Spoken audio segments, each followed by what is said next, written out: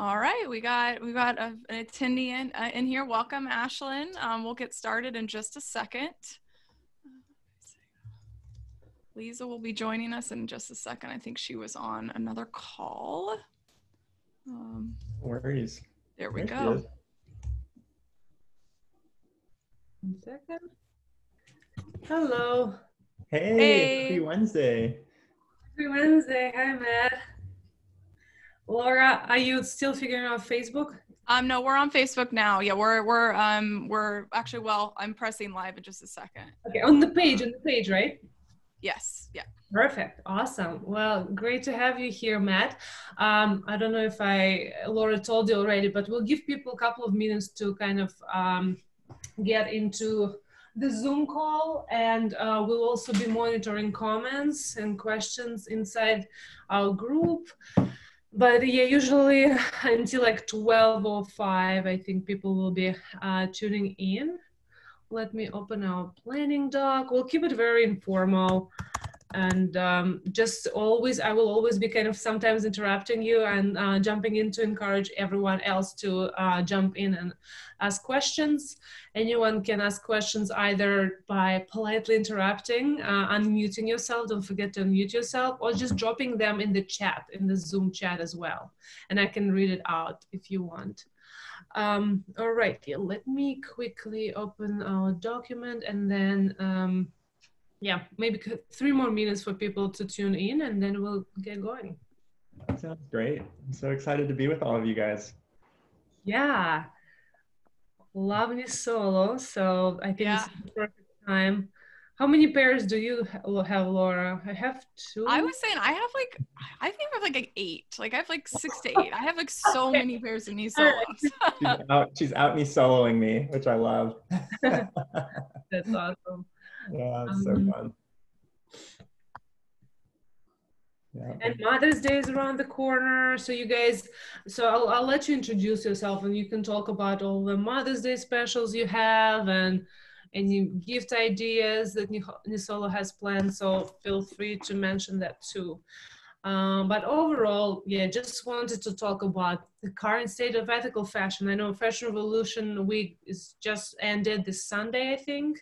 Mm-hmm. And I wonder kind of what Nisolo has been doing. I know you guys have been going above and beyond in terms of everything ethical fashion and what it really means to be an ethical brand these days. So I, I will be asking questions about all of the cool things that you've been doing over the years. And of course, uh, Brightly and I, we've been following you for a while. for sure. And we are live on Facebook now. So it's happening. It looks like it's happening on our page and the group. I don't know. I'm not a huge Facebook expert. Um, although I probably should be being over here in Silicon Valley, but my husband used to work for them too. So you would think, but no, I'm not quite the expert. um, so Lisa, you want to just go ahead and get started? I mean, I think people are going to continue to drop in both on Facebook and on Zoom. Um, but yes, welcome everybody. This is a Brightly Coffee, uh, Changemaker Coffee Chat. For some reason, I always have the hardest time saying that. Um, but these were designed to bring our community together to discuss all things ethical and sustainable living in the midst of COVID 19. So, we originally had a lot of different things planned in person, uh, both in um, the Bay Area and kind of around the United States. But unfortunately, COVID 19 happened and has been really hitting the entire world extremely hard in so many different ways. And so, we thought, what better way to help uh, everybody come together for some positive conversation and thoughtful um, recommendations. Um, so this is how our coffee maker, coffee, ah, change maker coffee maker chats happen. I literally can't do it. Uh, but yeah, so we're super excited to welcome Matt. Uh, he works with Nisolo um, it, specifically in their sustainability area. So Matt, I wondered if you could kind of just introduce yourself, let us know a little bit about um, what you do at Nisolo and maybe like how you got involved in the ethical fashion industry. It'd be fascinating. Yeah, I would love to do that. Well, happy Wednesday, everybody. Laura and Lisa, thank you so much for hosting me. I'm so grateful to get to be with you guys. And I love spaces like these where we get to just talk and learn from each other. I look forward to any questions and comments that you guys have. So as Laura was met, was uh, saying, I'm the sustainability lead at Nisolo. Um, basically, breaking my job down, it just really comes down to acknowledging that everything we make has an impact on people and the planet. My job is to figure out what that impact is and then to find creative ways to improve those impacts. So we genuinely believe at Nisolo that the fashion industry has the capacity to eradicate poverty around the world. There are tens of millions of people who make our clothes, 98% of whom are making a wage that holds them in poverty. And we dream about the day that all of those people are making a living wage and able to support their families. Um, on the people side, we really believe that our industry has the capacity as well to reverse climate change. Uh, fashion is responsible for about 8 to 10% of the world's carbon emissions annually. And so we have a huge role to play as we think about how can we get more creative in sourcing the materials for our products in a more environmentally friendly way. And so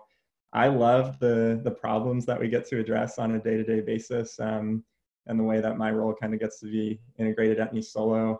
I've been with the company for almost five years now. Um, it's been my first job out of college. I got really passionate about ethical fashion after spending a summer in um, India. I spent a summer working with an organization there, and we were doing a lot of visits to, with um, different women specifically who were working in Indian clothing factories. And remember one day outside of Bangalore, I went to this woman's home, and there was a girl who was um, she was 21 at the time. That was the same age as me, and she was telling me about what her future was going to look like in terms of working in a factory. She was telling me that she would be earning $3 a day in this factory working for brands that you and I would recognize. And in a, in a large way, she was very much grieving what she was, was losing as a result of um, the work that was ahead of her. She wanted to go to college and she had a lot of large aspirations. And I really was just uh, crushed in a lot of ways as I thought about the future that this woman wanted, uh, the resources that these brands who she was going to be making products for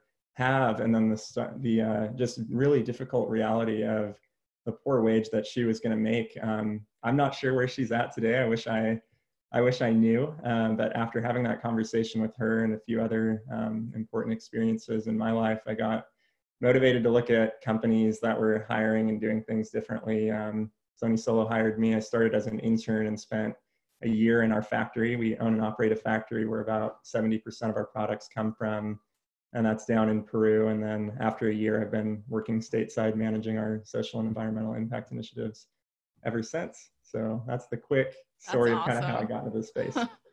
I love how you um, how your story really illustrates the human face of fashion.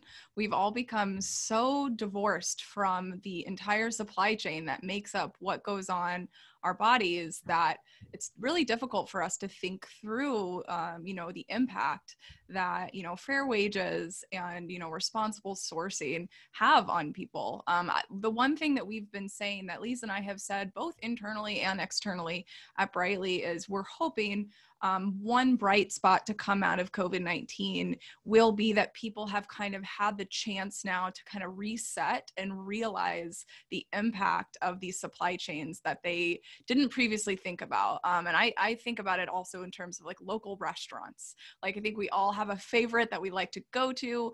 Um, and we unfortunately are seeing, um, you know, sort of uh, cries for help from these businesses that we love to support on a local level. Um, so I'm hopeful that this line of thought is going to kind of then transition over into people having relationships with new brands like Nisolo that they might not have shopped with before and realize, hey, like next time I go out to buy a new pair of shoes or, um, you know, a handbag, I can actually make a difference with that. Um, and Matt, so I was wondering um, if you could speak a little bit to um, what Nisolo has been seeing happening since COVID 19 as it relates to your supply chain um, and maybe as it relates to the consumer response that you've seen, um, whatever you're comfortable sharing.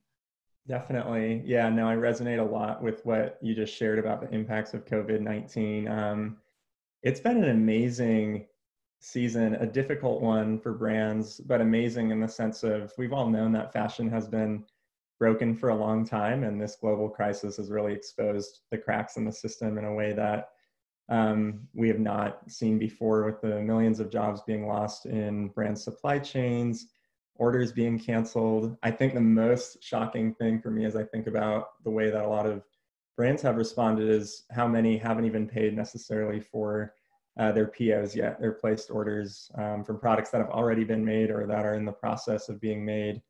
Um, so we've been affected at Nisolo as well in a significant way. Our uh, founder and CEO, Patrick, put out a letter a few weeks ago sharing about some of the impacts that it's had on us. Um, the usual suspects of you know some layoffs, um, sales being down significantly, but we found that being transparent with our audience, sharing that update with them, um, really had a positive uh, response, not just from our community and encouraging us, but it's it's had a really impactful uh, response as well in terms of sales and people uh, committing to continuing to buy from us and supporting us in that way. And I think the other thing that's been really neat for us, you know, amidst this challenge, um, when you would think uh, an organization's culture might be struggling, I really feel like our culture as a team right now is stronger than it's ever been. It's it's really for us really exposed, um, you know, how we are in times in times of crisis. And for us, it's been a time to come together and say, even even in this in this time, we're going to be focusing on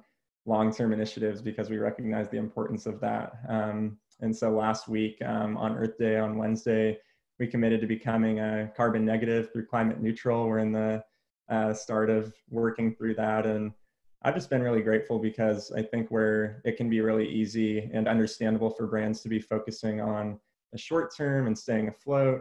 Um, we've been able to navigate this in a really neat way and continue to think through no, we're in business for the vision to push this industry in a more sustainable direction. And regardless of the circumstances that we have, we're going to confront them and, and really drive towards the long term. Um, and with our consumers, we're excited to see them kind of on the same page. So that's been really great. That's great. I mean, I've been telling Patrick and you that, um, you know, I think you guys uh, I don't usually give compliments out. Uh, Laura probably knows that, but I think because you've she's, been. uh, doing... no, I'm just kidding. I'm just making fun of you.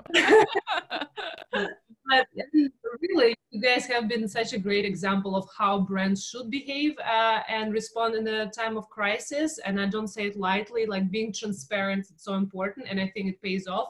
And I think, uh, uh, I mean, it's natural as human beings to be scared of uncertainty and not sure how to respond. And it's it's hard to accept that being transparent is actually one of the best ways to behave. But I think over the years, you've been, uh, as you said, you guys have been doing all the right things and kind of going above and beyond and redefining what it really means to be an ethical brand.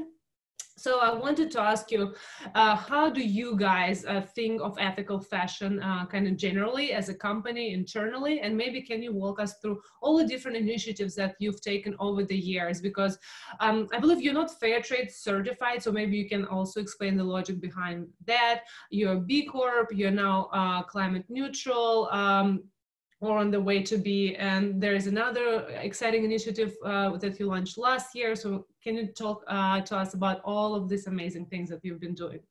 Definitely. Well, thank you for those kind words, Lisa. I really appreciate it.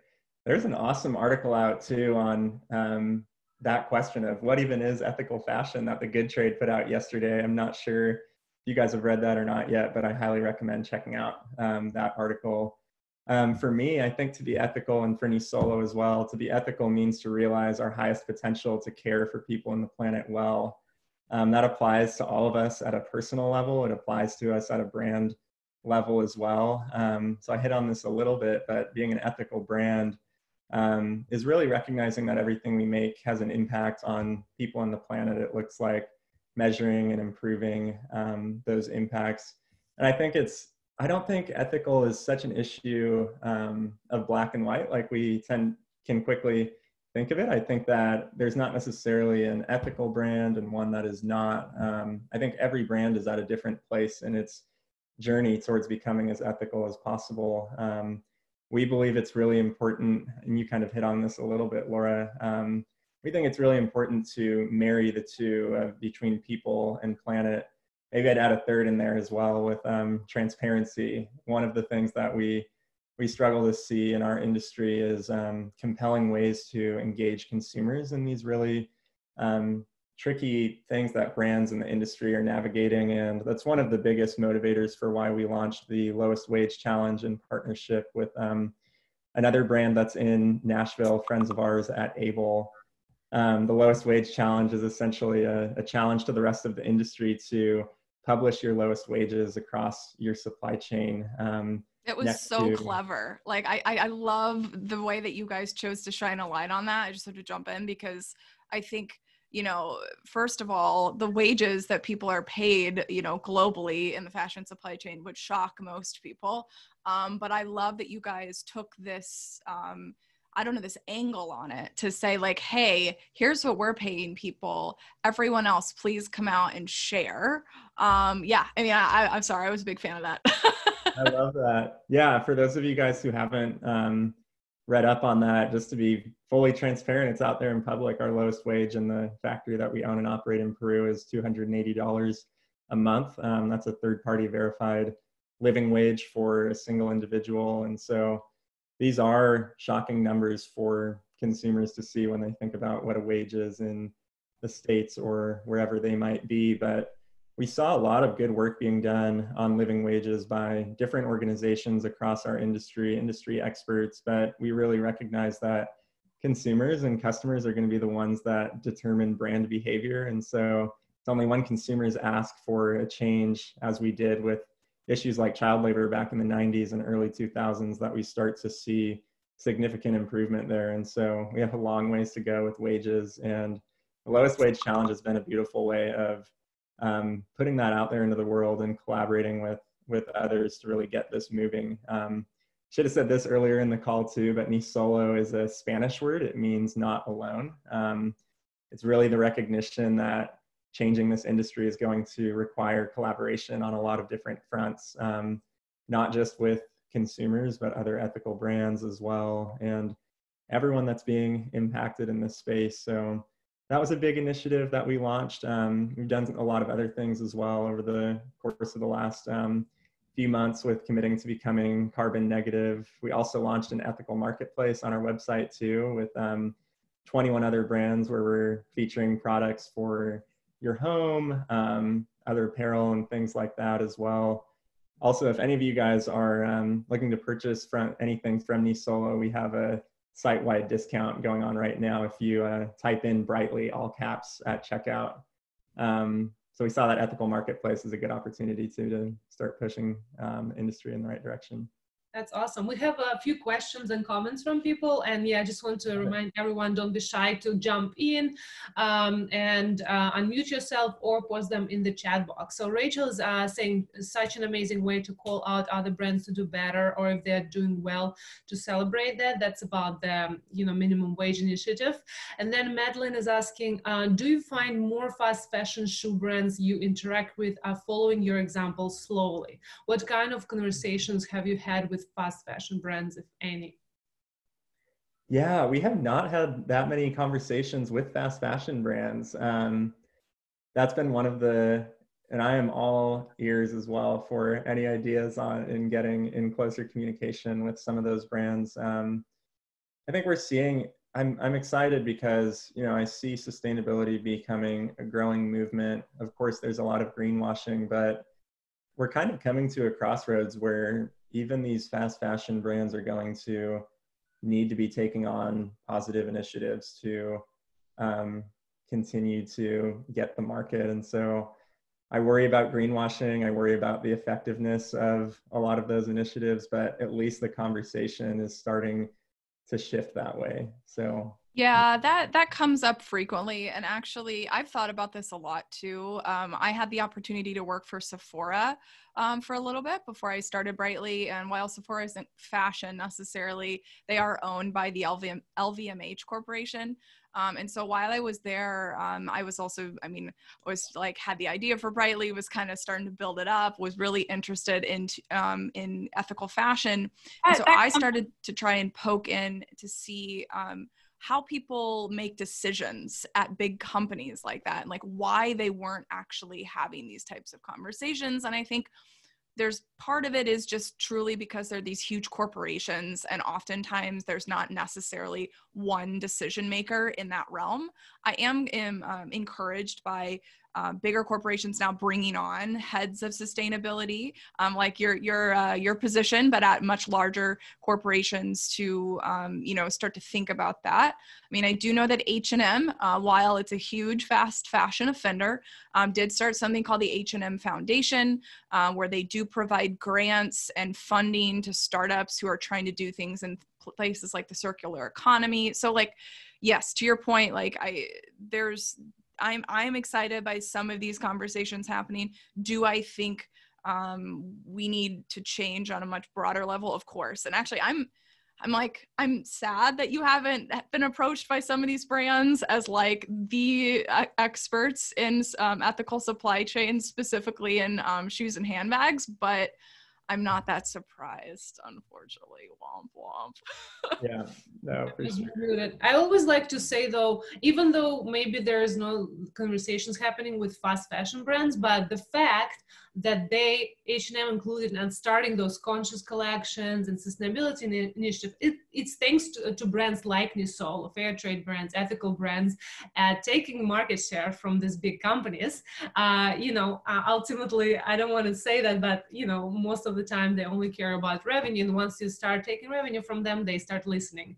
Um, but again, we've talked about it probably almost every other coffee chat. Like COVID-19 is all is a global reset. That's how we see it. Mm-hmm. We see how much people care and starting to realize uh, how important the their spending habits are and what real difference we can make uh, in the fate of businesses, local businesses, businesses like Nisolo, or even giant corporations are not doing that well uh, right now. So um, I, I, think there is um, there is even a bigger consumer shift happening. Uh, there was another question from Ashlyn.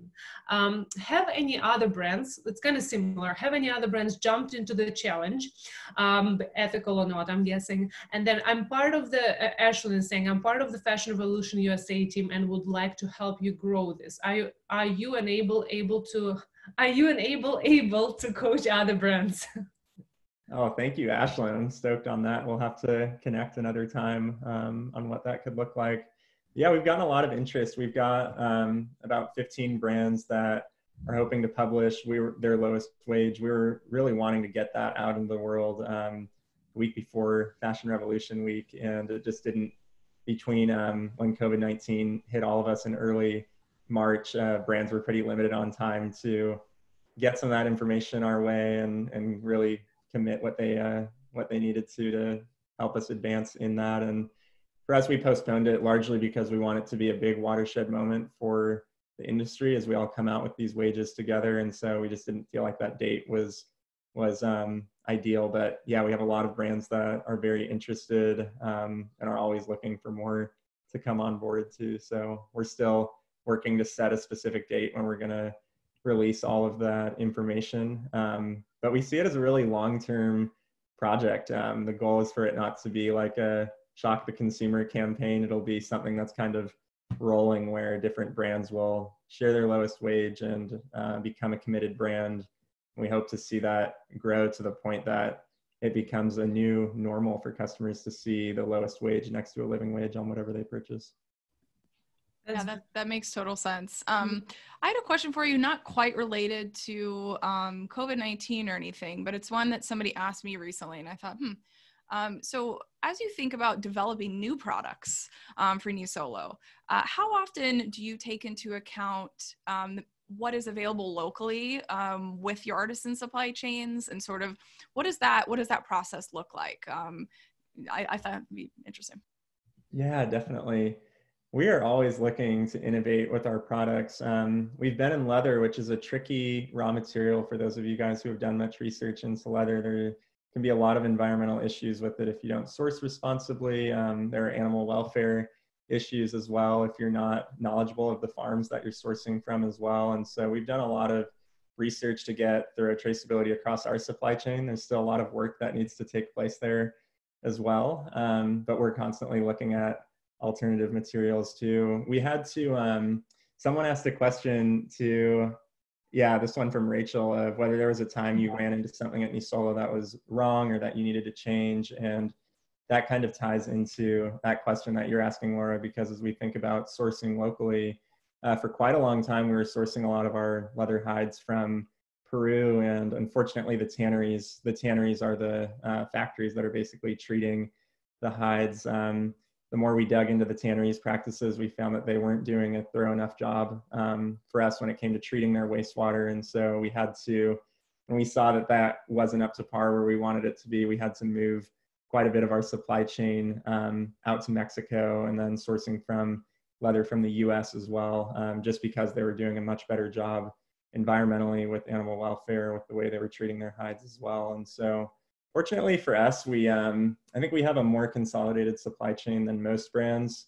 Almost everything in our operations takes place in the Americas, so in the Western Hemisphere. Um, that cuts a lot of travel out when you think about a t-shirt, for example, where the cotton might go might be coming from a field in Texas and being shipped out to Southeast Asia to get processed into textile and then sewn and sent back and whatnot. Um, so it is a little bit more consolidated, but yeah, we're always trying to think through more ways that we can consolidate our supply chain even further. Yeah, it's definitely once once you're sourcing from you know different supply chains, especially around the world, that makes everything so so much more complicated. And that's why I have always been looking up to Nisolo in terms of you know owning your own factory and production. It just means that you have so much more control. But even with this reality, there is still all these little details. And um, again, that you guys are so thoughtful about all the tiny details in the production, uh, it just adds up um, so a huge deal.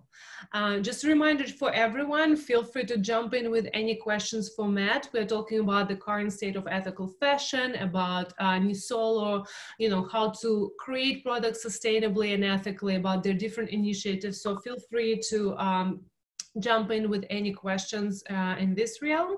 And then on our end, um, as you guys know, for those of you who've been listening to the podcast, participating in the coffee chats, we always kind of, uh, our goal is to leave everyone that comes uh, in touch with Brightly with actionable tips uh, for that you can implement in your everyday life and kind of change your, sometimes your behavior and uh, thinking as a consumer, as a citizen. So the question is, how can we as citizens and consumers be more and lead a more ethical lifestyle during COVID-19 and beyond? And Matt, it can be your personal tips and tricks. It can also be, you know, some things that you guys have been discussing internally with Nisol and things that you've learned along the way too. Definitely, yeah. I think it's such an interesting season of life because all of us have spent so much time in our homes. Um, you probably realize things in your home that you don't use or need anymore. I, I feel like a lot of people kind of got done with their spring cleaning the first or the second week of all of this. Amen. I know I come through a lot of my own stuff. Um, I think the first thing is is really just looking at where how can I lead a minimalistic life. Um, as I think about fashion, looking at that in terms of clothes. I've had a fun experiment that I've been working on for the last and it's it's ongoing, but it's been going for the last four or five years. I've gotten to travel a lot, and I wanted to see if I could have more passport stamps than I have pieces of clothing in my um, closet, including like pairs of socks and shoes and everything. And I finally hit my goal in like mid 2018. Um, it was like I think I've got 135 pieces of clothing now, um, but creating some kind of fun like checks and balance system of making sure that you're not over consuming above a certain limit. And um, i think identifying those pieces of clothing too that like you really want to have more of a relationship with that you build memories with as well. I love the um, love clothes last campaign that fashion revolution is working on because it is such a key part of our identity and who we are um, our clothing. So that would be one on the personal level um, really be reaching out to brands too. I think when I when I when people ask me the question of you know how can you tell a brand is ethical or not, um, ask them those really tough questions that they might not want to answer and see if they get back to you and see what they share. So I think that's a great one as well. Um, and then getting creative too about different projects you can be starting around the house. Um, I want to start composting and getting that going and I don't know, there's so many great areas in our lives where we can just be doing a better job and what a better there's no better season than this one to be reflective about the kind of world we want to step back into and the kind of the kinds of habits that we want to change too as we've been dealing with a lot of change and we've been forced to deal with so yeah I love it. it. It hounded almost like you've been reading brightly because we had we just launched a podcast on minimalism mm-hmm. uh, with another podcaster um, who hosts her whole podcast about minimalist living. So I, I dropped the link below there. Uh, we just po- posted a, uh, an article about composting too, written by one of our Brightly ambassadors, and uh, we are planning to uh, also well actually i'm interviewing Joe the gardener. I'm very excited about that. uh, he has a podcast and a TV show about gardening because so many folks are getting into uh, the gardening. They everyone is developing green thumb, so that's exciting. Um, well, and Lisa, I mean, you, ne- you never forget, right? Like one of the biggest pieces of advice we try to give on the podcast is just consume less, um, and you know, just buy fewer, better things. Um, you know, I think oftentimes um, accessibility um, from a price point comes into play um, when people think about ethical fashion. And we get that question a lot, which is like, how do I participate in the ethical fashion um, consumption cycle when I don't necessarily have a budget for it? And so a lot of the times our advice is, you know, like, a, if you want to support um, these ethical brands on the secondhand market, you can totally do so um, and get things, you know, and, you know, so A, you're getting an ethical item, but B, it's being reused, which is great. Um, another thing is, you know, watch for discounts. Um, so, like, we do have one live with Nisolo write now, which is awesome.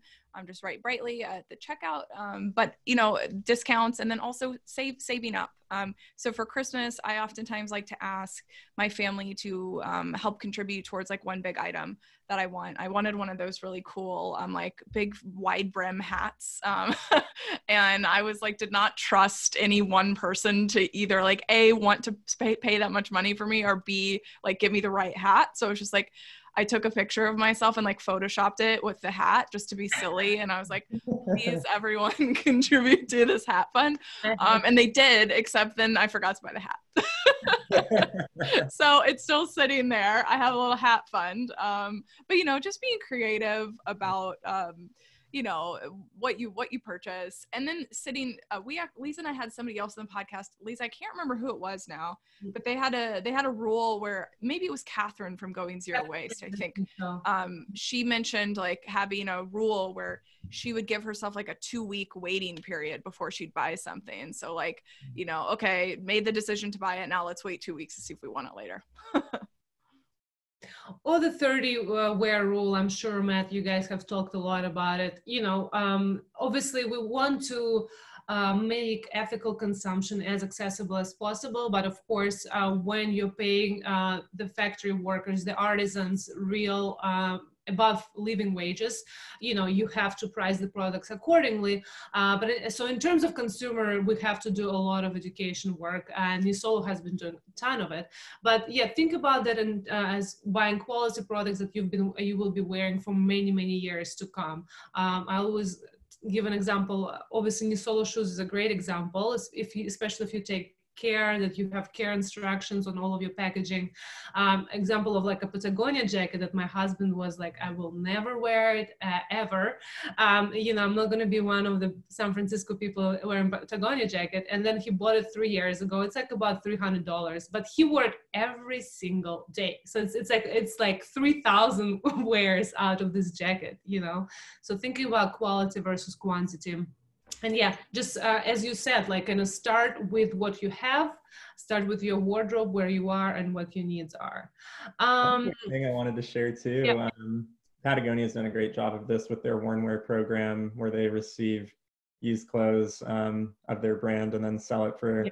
a cheaper price um, we're starting to get into that um, we hope to move into that um, something similar to that eventually but awesome. we recognize that the price is a big barrier for a lot of people to start consuming a little bit more ethically. And so one of the things that we just started doing last week was actually selling some of our shoes on Poshmark. Um, so we have a lot of shoes, like for example, that we use in a model sh- in a photo shoot um, where they're lightly worn and still very much you can you can tell they've been worn, but um, they're still very new and and ready to wear. And so it becomes a way for us. We've had a success with that program so far, and becomes a way for us to um, get new customers, but then also on the consumer side to purchase an ethically made product for significantly less than what it would be otherwise.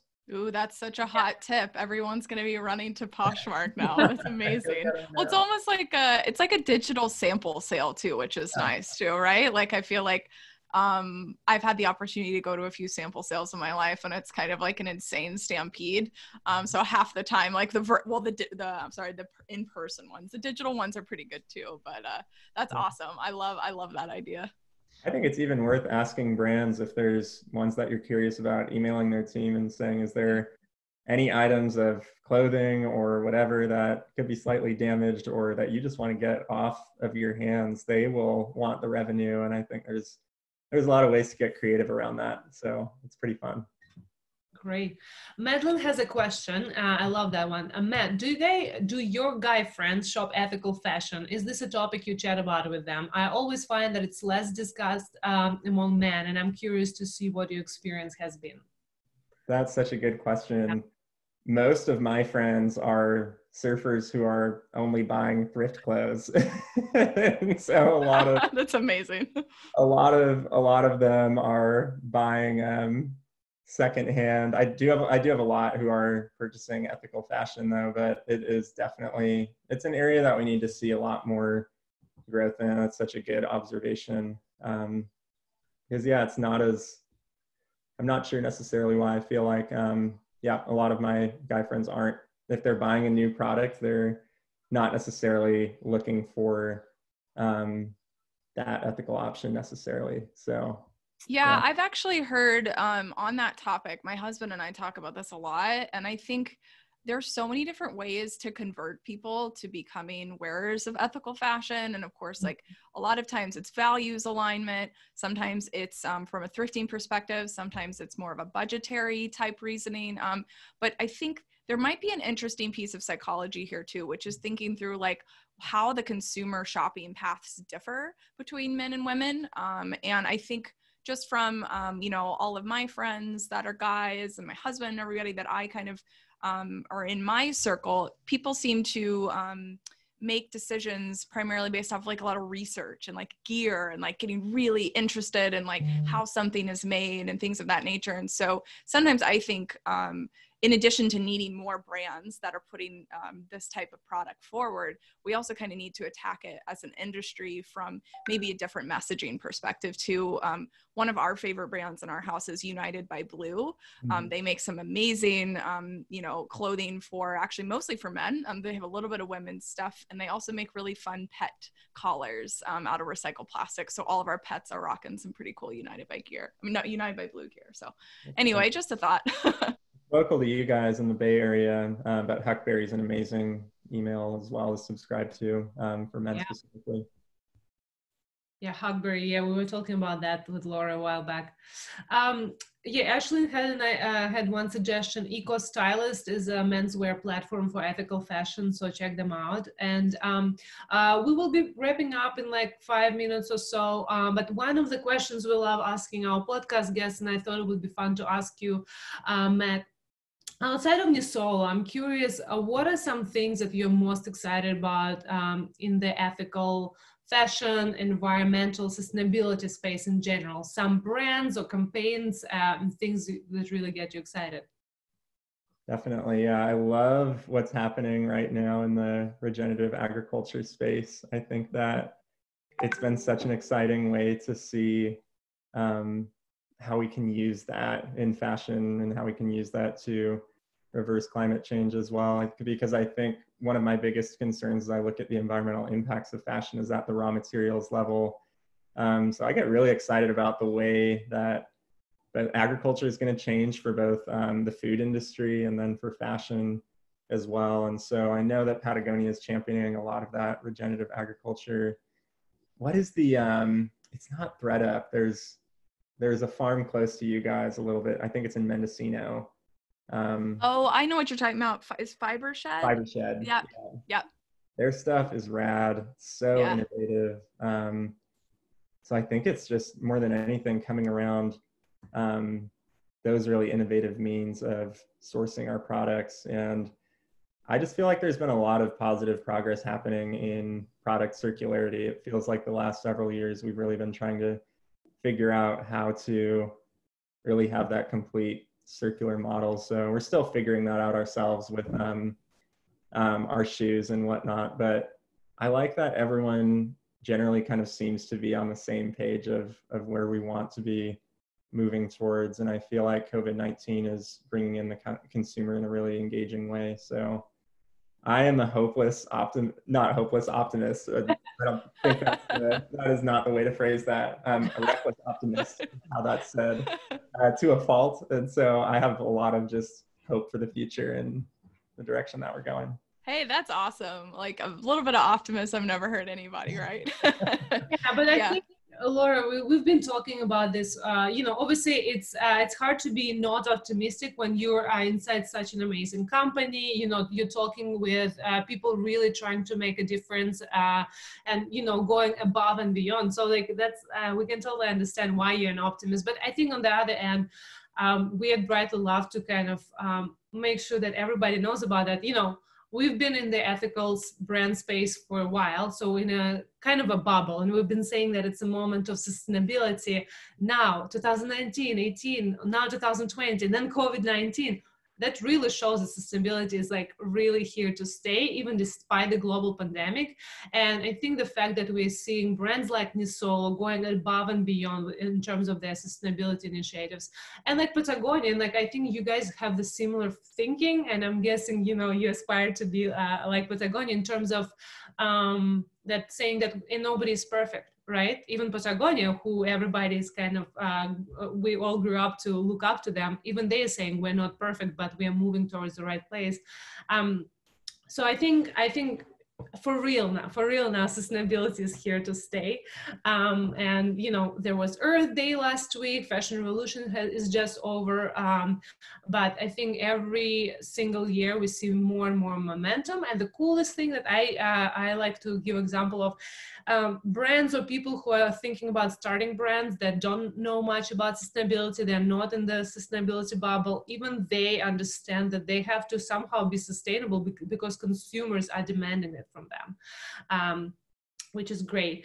Uh, if anyone has any uh, last minute questions, whether on Facebook um, or you can unmute yourself and chat with us, or you can post them in the chat box, uh, we can answer them live.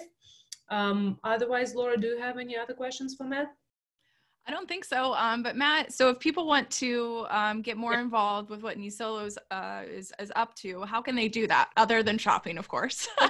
yeah, definitely. Um, if you guys want to contact me about any of our sustainability initiatives, my contact info is just my name, Matt, M-A-T-T at nisolo.com. So feel free to shoot me an email. There's a lot of amazing people on here already. I know I saw a comment from uh, Remake already and some Fashion Revolution stuff. So feel free to be in touch with me. We're regularly posting to our Stride blog on our site as well. That's usually where we share kind of our most long form um, copy about any social and environmental initiatives that we're doing. And um, yeah, just stay, uh, yeah, be, uh, be on the lookout as well. We've got a pretty major thing that we'll be sharing in the next few weeks as well for the fashion industry, another big campaign. Um, awesome. I'm really excited to release that. Yeah. Yeah, we'd love to help get the word out about that. That's awesome. Yeah. Matt, thank you so much for joining us. Um, like I said, we we have so many fans of ethical fashion in the Brightly community. We also get so many questions about it, so we knew that this was going to be an awesome talk. Um, so thank you everybody for joining. Um, we will be doing another coffee chat next week. Um, and it will be about clean beauty. I oh, yes. Another hot topic in sustainability. It will be with Tyler Abbott.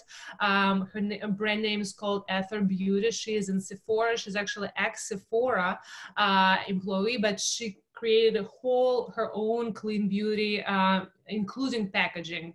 So zero waste, mm-hmm. everything is recyclable, clean beauty brand. So we're also excited about that. Uh, let's keep the momentum going, and um, I hope you guys stay safe and be well. Yes. And thank you so much for all for joining us this Wednesday. Yes, be well, everybody. Thank you. Thank you, Matt. Bye.